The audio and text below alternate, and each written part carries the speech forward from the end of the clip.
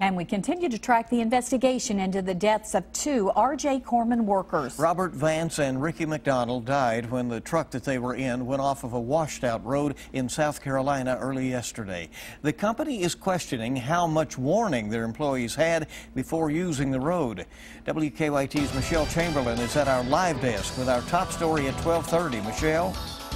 Yeah, a press release from the R.J. Corman Railway Group said this about the accident that killed those two workers. Although initial reports incorrectly stated that R.J. Corman employees had evaded barricades and ignored road closure signs, South Carolina State Highway Patrol has confirmed reports that those signs and barricades were improperly placed. The release goes on to say the investigation reports lead us to believe the leading cause of the accident will be attributed to an inadequate warning. The R.J. Corman workers were in South Carolina to repair rail lines. An R.J. Corman spokesperson gives details of the accident, saying it was very dark around 1.30 in the morning of the accident. As the truck stopped, it went into a large hole created by floodwaters, the water about 20 feet deep.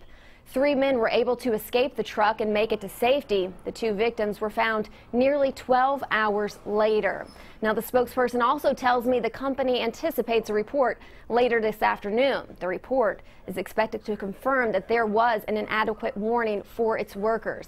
We reached out to South Carolina Highway Patrol but have not received a response. At the live desk, Michelle Chamberlain, WKYT.